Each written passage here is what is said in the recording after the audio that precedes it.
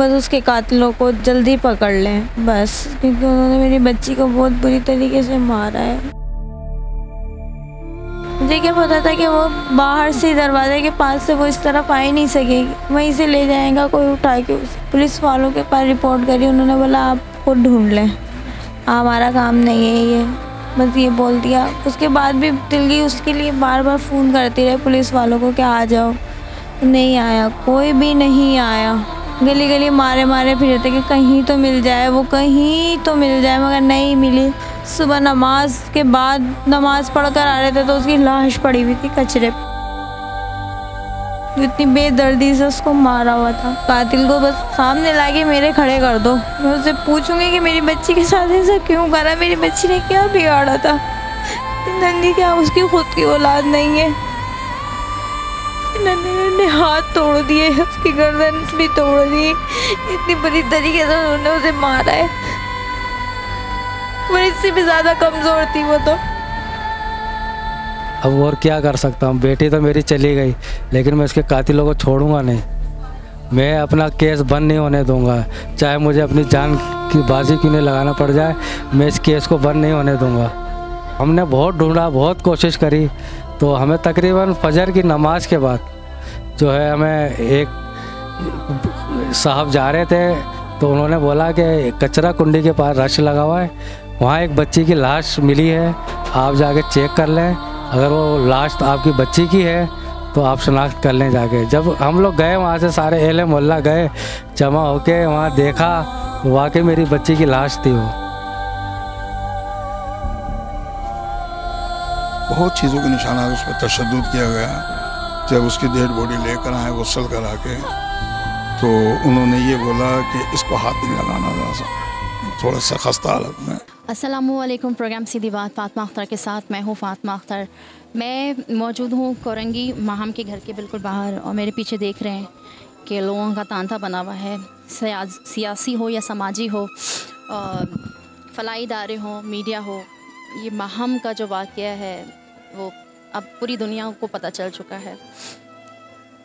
बेदर्दी से कत्ल किया गया, पहले हरमती का निशाना बनाया गया, बेहरमती की गई उसके साथ। मैं, वो जो स्पेसिफिक वर्ड होता है ना, वो नहीं यूज़ करूँगी इस वक्त, क्योंकि वो यूज़ करने से ना दिल को तकलीफ़ होती है, वालदेन को तकलीफ़ होती है, चाहने वालों को तकलीफ़ होती है। तो मैं बेहरमती का वर्ड इस्तेमाल कर रही हूँ यहाँ पर। क्या है, क्या सिचुएशन थी, हम बात करेंगे। मेरे साथ चलिए। जी, इस वक्त मेरे साथ मौजूद हैं माहम की वालदा। यकीनन ये क़यामत की घड़ी है उनके लिए और अल्फाज नहीं मिल रहे हैं कि उनसे क्या पूछा जाए। मगर वो अपनी आवाज़ जो है मीडिया के ज़रिए, लोगों के ज़रिए पूरी दुनिया में फैलाना चाहती हैं। इंसाफ के जो दारे हैं, अदलिया है, सुप्रीम कोर्ट है, हमारे वज़ी अजम इमरान ख़ान साहब हैं, चीफ़ जस्टिस ऑफ़ पाकिस्तान है, सिंध की हुकूमत है, उनसे यही मुतालबा करना चाहती हैं कि उनकी बेटी को जो इस तरह बेदर्दी से उनसे जुदा किया गया है, वो उनको कैफरे किरदार जो मेरे पास मैं फिर कहूँगी कि कोई अल्फाज नहीं है, उनसे बात करते हैं। अस्सलाम वालेकुम। बड़ा दुख का और क़यामत खेज़ लम्हा है। मैं माजरत खाऊँ आपसे कि मैं इस वक्त आपसे बात पहुँच, कर रही हूँ। क्योंकि आप एक माँ हैं और आपकी बेटी, छः साल की बेटी माहम आपसे जुदा हुई है। मगर मैं सिर्फ़ आपकी आवाज़ जो है पूरी दुनिया में हम पहुँचाना चाहते हैं। क्या कहेंगे? मैं चाहती हूँ बस उसके कातिलों को जल, जल्दी पकड़ लें। बस, क्योंकि उन्होंने मेरी बच्ची को बहुत बुरी तरीके से मारा है। पाँच मिनट में, पाँच मिनट में लेगा, उसको समझ में नहीं आया ऐसे कहाँ कैसे चली गई वो? किसी के साथ नहीं जाती थी वो। कभी भी ऐसा नहीं हुआ।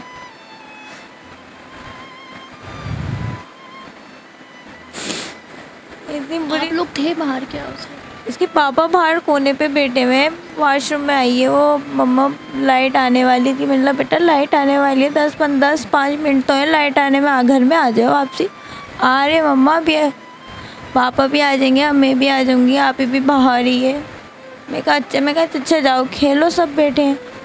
मुझे क्या पता था कि वो बाहर से दरवाजे के पास से वो इस तरफ़ आ ही नहीं सकेगी। वहीं से ले जाएगा कोई उठा के उसे। मुझे बताएँ, आप लोगों ने पुलिस में भी कंप्लेन की थी। तो पुलिस की जानब से कोई कार्रवाई की गई उसी टाइम नहीं करी गई। कुछ नहीं हुआ था, खुद ही ढूंढ रहे थे उसे पुलिस वालों के पास रिपोर्ट करी, उन्होंने बोला, आप खुद ढूंढ लें। हमारा काम नहीं है ये। बस ये बोल दिया। उसके बाद भी दिल गई, उसके लिए बार बार फ़ोन करती रहे पुलिस वालों को कि आ जाओ? नहीं आया, कोई भी नहीं आया। सारे गली के बच्चे खुद ही ढूंढ रहे थे। गली गली मारे मारे फिर थे कि कहीं तो मिल जाए, वो कहीं तो मिल जाए, मगर नहीं मिली। सुबह नमाज़ के बाद नमाज़ पढ़कर आ रहे थे तो उसकी लाश पड़ी हुई थी कचरे पे। इतनी बेदर्दी से उसको मारा हुआ था।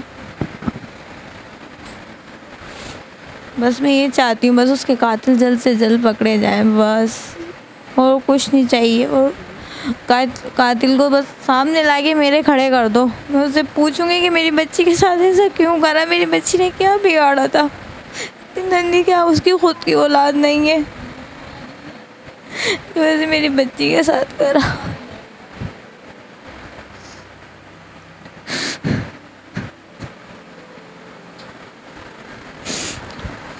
आप किससे अपील करना चाहेंगी? वज़ीर अजम से भी, जितने भी हैं, जितने भी कारकुन हैं, मैं सब सबसे ये चाहती हूँ कि मेरी बच्ची को, बस जल्दी से उसके कातिल को पकड़ पकड़ ले, बस। वो पकड़ के यहाँ ले आए, मैं खुद सज़ा दूँगी उसे। मैं पुलिस वालों के किसी के हवाले नहीं करूँगी। नहीं, वो मैं भी चाहती हूँ कि वो ऐसी तड़पे जैसे मेरी बच्ची को उन्होंने तड़पा नन्हे हाथ तोड़ दिए, उसकी गर्दन भी तोड़ दी। इतनी बुरी तरीके से उन्होंने उसे मारा है।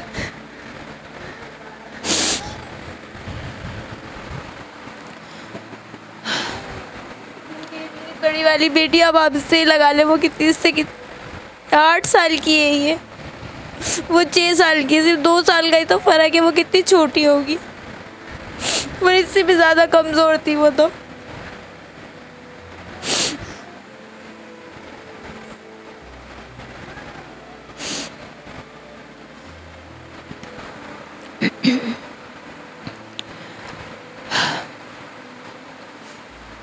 ये दुख बहुत अजीम है। ये,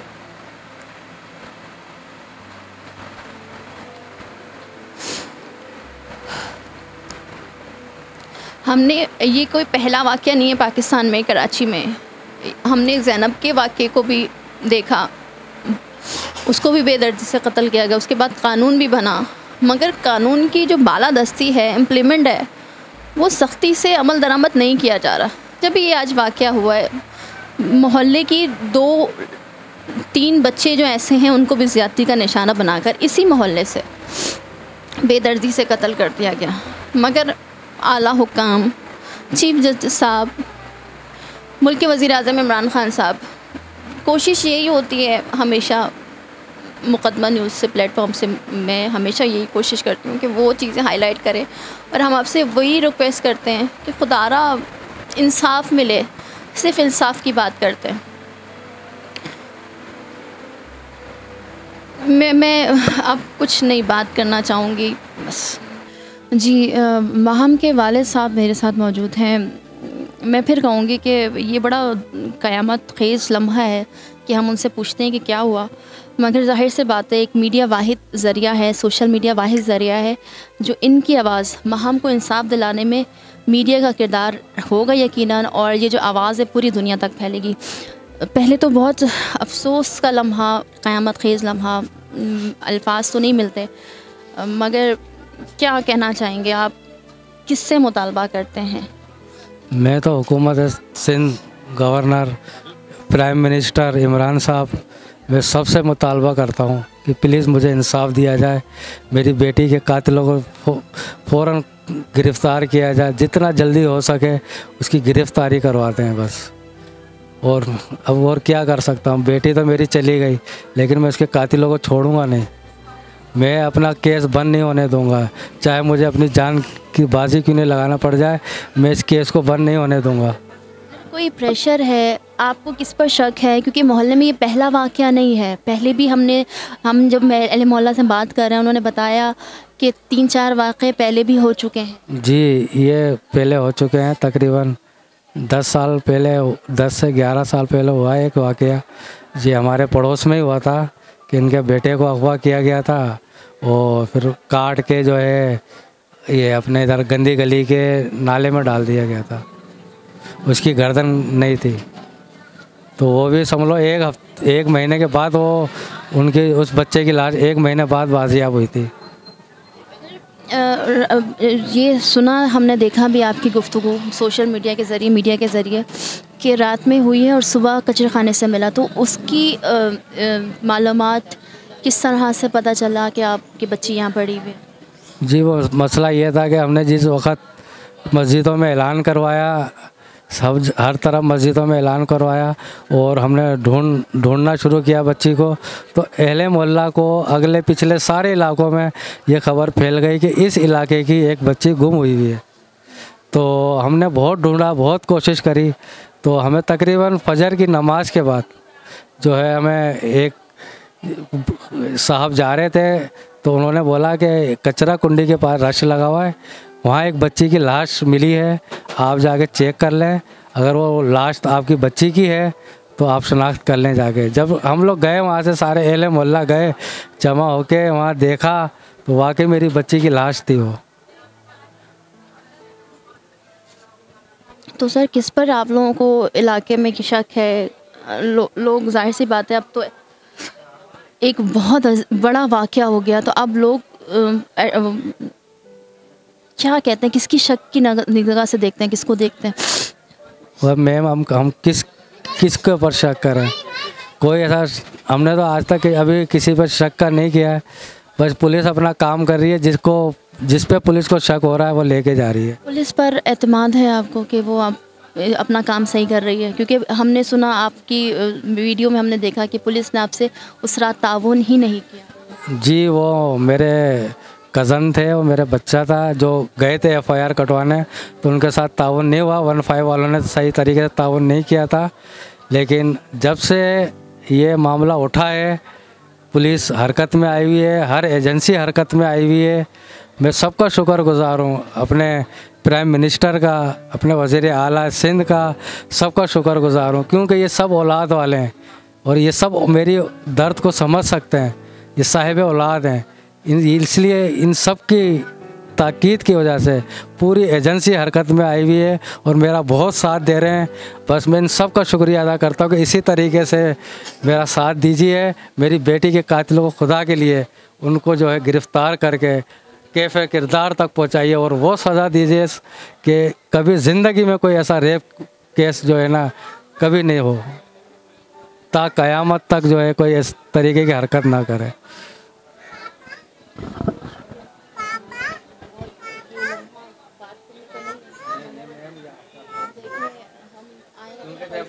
वो ताकत हो मेरी मेरी ताकत हो। मेरी ये आवाम मीडिया और मीडिया ये मेरी मीडिया। बिल्कुल ये सब मेरी ताकत हो। देखो आप मेरी ताकत बन के आई हो तो मुझे हौसला भी करना पड़ेगा। आपसे ताउन करूँगा मैं। क्योंकि अगर आपका ताउन नहीं होता तो मेरे साथ इंसाफ नहीं होता। ये जो इतनी अफरा तफरी और ये एजेंसियाँ घूम रही हैं ये सब आपकी बदौलत। मैं आपको ये क्रेडिट देता हूँ। बच्ची की तकलीफ़ यकीनन वो जन्नत में ही गई होगी बस ये जो कातिल है वो जल्द से जल्द बस मैम बस ये सब आप करेंगी और ये हमारे मुल्क की एजेंसी मुझे इंसाफ दिलाएगी।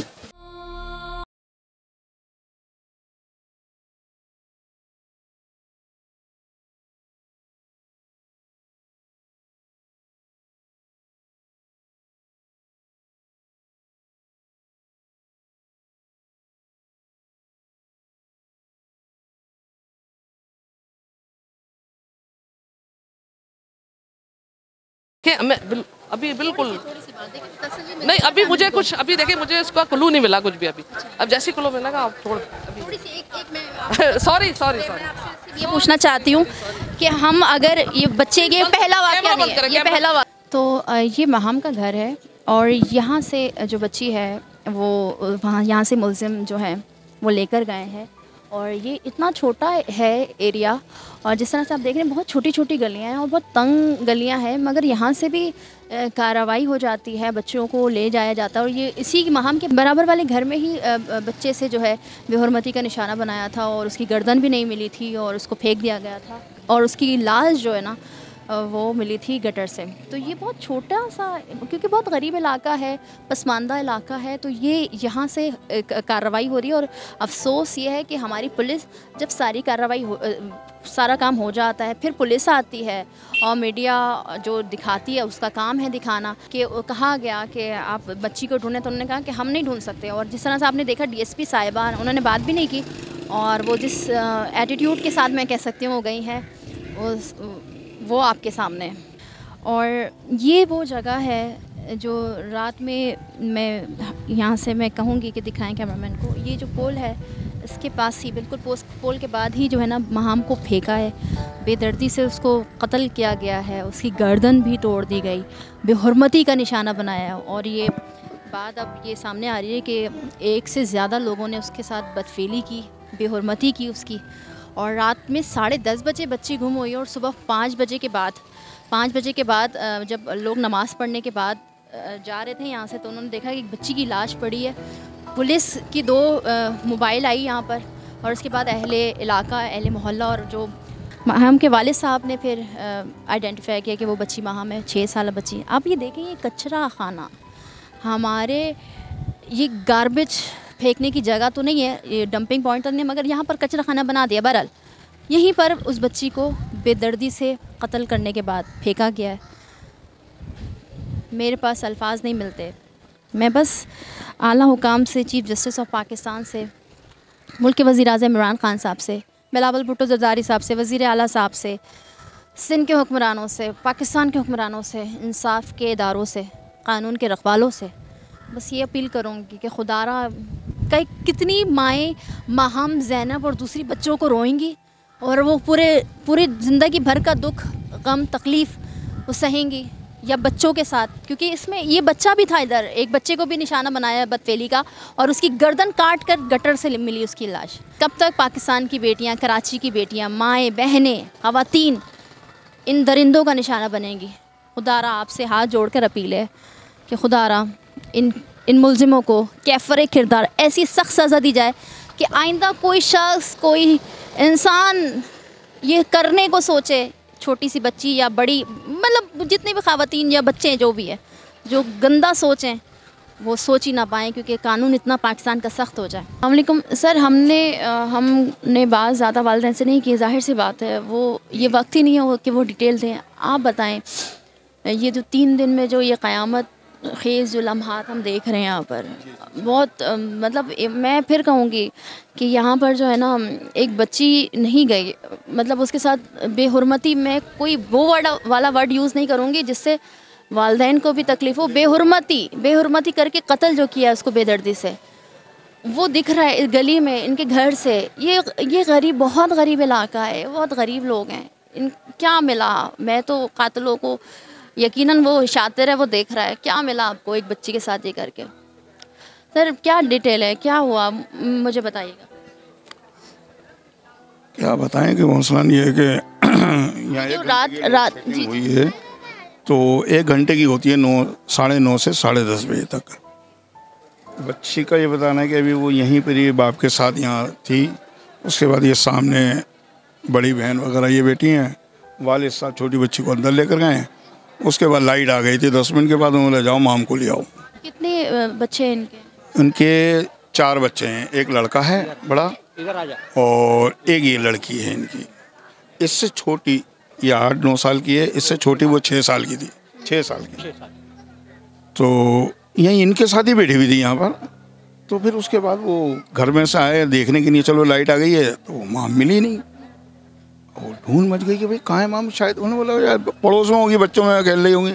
या मेरी नवासी के साथ भी खेलती है उन्होंने बोला नवासी के देख लेते हैं। तो वहाँ देखा कहीं भी नहीं फिर गली में ढूंढते रहे नहीं मिली। फिर एकदम पहले मोहल्ला पूरा खड़ा हो गया कि ये क्या हुआ? अब ढूंढ यूँ कि पहले भी बाकी हो चुके हैं तो वो सब जहन में आ रहा है यार ये क्या हुआ हमारे साथ? फिर तो गाड़ियाँ मोटरसाइकिलें जिसके पास जो थी इधर देखो उधर देखो। ये तैयार भागने के लिए सब जगह देखा नहीं मिली। पुलिस ने भी अपना किरदार नहीं निभाया। पुलिस का ये है कि यहाँ से इनके घर वाले गए उन्होंने जाके एफ़ आई आर कटवाई है तकरीबन साढ़े ग्यारह बजे के टाइम करने की तो बकुल उनके वालिद के। तो उन्होंने बताया कि हमें गया वहाँ वहाँ जाकर मैंने बोला तो उन्होंने कहा ठीक है हम आपका पर्चा काट लेते हैं लेकिन ढूंढेंगे आप। क्या बोला? कि पुलिस का काम नहीं है कि आवाम की खिदमत? नहीं ये है काम। है काम। लेकिन इस चक्कर में फिर उसके बाद दूसरे दिन से जब पुलिस लगी मैं खुद बच्ची के पास गया हूँ। लाश का जब मुझे पता चला फजर में ही। फजर के डैम का ये वाक़ था मैं उतर कर मैंने पूछा क्या हुआ? रश लगा मैं साढ़े छः बजे एकदम आया अपने घर से निकल के कहने अख्तर भाई वहाँ लाश मिल गई है कूड़े पे। वही मैंने बोला क्या करा? मैं जल्दी से यहाँ से गया और लड़के वड़के सब गए।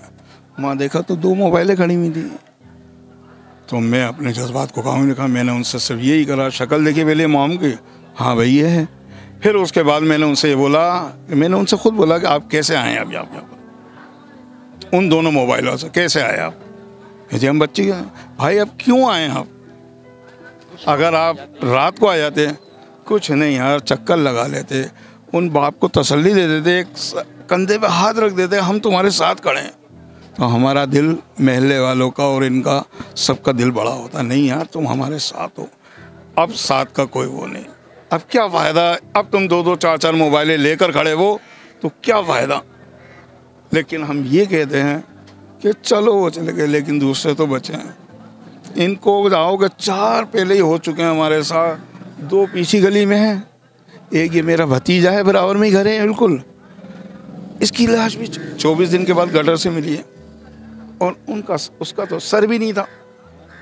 माहम के साथ गर्दन टूटी हुई थी और तशद भी किया था। पोस्टमार्टम की रिपोर्ट आई है जो बताया गया है और आप उससे बता रहा हूँ मैं कि दो तीन दिन से मीडिया पे भी यही कहानी चल रही है कि कि गर्दन की हड्डी टूटी हुई है टांग है हाथ टूटे हैं कुछ निशानात हैं जिसम पे बहुत चीज़ों के निशानात उस पर तशद किया गया।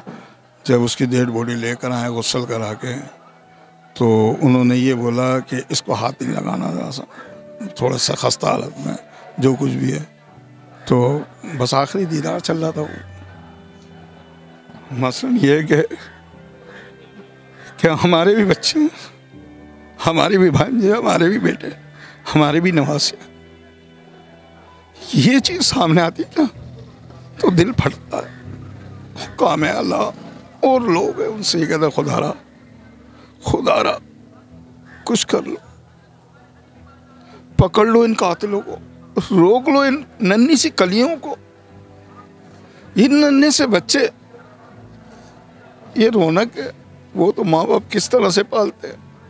उनके कलेजे बाहर आए हुए वो क्या करें ये लोग? अब इन्वेस्टिगेशन इतनी हो रही है शायद मेरा दिल कहता है मेरे अहले मोहल्ले का दिल कहता है शायद अब पकड़ा जाए वो। जिस तरह से मैं कह रहा हूँ देखो ये जो कोताही करी है ये चलो जो हो गई पहले दिन की दूसरे दिन से आप लगे आप पहले दिन से लग जाते। लेकिन अभी भी मेहनत कर रहे हैं लोग। मैं कहूँगा मैं सबके सामने ये बात बोलूँगा कि हाँ जिस तरह की चल रही है आप कातिलों को ढूंढ लो। इस वक्त मौका है सारे सबूत आपके पास हैं। सब कुछ है। किसी पर शक है कि ये मोहल्ले की अब ये है कि इलाके में से कुछ लोग उठाए हुए उन्होंने। मसलन एक वो मिला था कि रक्शे वाला फेंक कर गया है। इतना बड़ा प्रूफ क्या है? एक बंदे को और उठाया हुआ जिसने देखा था। उससे सलाम करके निकला है वो कोने पे। जहाँ से उसने देखा उसने ब्रेक मारा बाकायदा। मैंने पुलिस वाले को दिखाया ये देखो टायर के निशान है। सामने से एक शेब नाम के था वो बैठा हुआ था वो देख रहा था। पाँच, साढ़े पाँच बजे का वाक़ था या पाँच बजे का। नहीं, पाँच बजे का ही होगा बता रहे हैं। तो रक्षा रुका, उसकी लाइट इतनी तेज़ थी कि उसकी आँखों पे पड़ रही थी और वो सलाम करता हुआ, टन करता हुआ चला गया। लेकिन उसके बगौल के आँखों पे मैं पहचान नहीं पाया। बस उन्हें सलाम करा वो साइड मुड़ता हुआ चला गया। फिर उसके दिल में ये आया कि शायद क्या चीज़ फेंक कर गया यार, मैं देखूँ तो सही। फिर उसने देखा तो बच्ची की लाश थी। फिर उसने बोला कि नहीं यार, ऐसे ऐसे और लोगों को बताया हुआ ना तो इधर से मेरा भांजा, ये लोग पूरे रात के जागे हुए थे। ये गए ढूंढते हुए। तो वहाँ उन्होंने लोगों ने बताया, जिन जिन को महल को बताया कि नहीं, ऐसे ऐसे कुछ मिला है, वो बता रहे हैं आपको कि ना आए, हम आपको दिखाते हैं तो उन्होंने देखा तो कह रहे ये तो माह में। तो सारे आए, बताया यहाँ से, माँ तो नंगे पैर भागने को उनकी फुप्पो हैं वो बेचारी भागी हम फुप्पो को भांजा हमारा फुप्पो को लेकर गया वो रंग लगा नहीं आप रुक जाओ उनकी वालदा को रोका कि उनका क्या आलम होगा वो देखेंगे ऐसे। पुलिस अपना किरदार निभा रही है हाँ, अब पुलिस से अब निभा रही है। अब निभा रही है। टाइम निभा ली थी तो ये वाक्य नहीं होता। इस टाइम दिखाने से तेज़ी करने से उससे कोई फ़ायदा हासिल नहीं हो रहा। मगर वही वही बात है कि अपने हाथ अपनी मदद खुद करी तो हमने अपनी ज़िंदगी अपनी बच्ची को खुद मुतालबा करेंगे। अब हुकूमत सिंध से भी कह सकते हैं वज़ीर वज़ीर अजम से भी हम कह सकते हैं या अल्लाह इनको कामों को रोका जाए इन जराइमों को रोका जाए इन कातलों को पकड़ के सजाए मौत दी जाए सरे आम दी जाए तो मकसद ये है कि लोगों को इबरत तो हासिल हो। हमारे बच्चे मासूम तो बच तो जाएँ। अब ये नहीं है किसी का गरीब का बच्चा है तो अमीर का बच्चे के लिए तो दुनिया भर की फोर्सें आ जाती हैं। तो जहाज़ से भी उतर के आ जाएगा आदमी। यहाँ से कोई गजा गाड़ी वाला नहीं आ रहा है।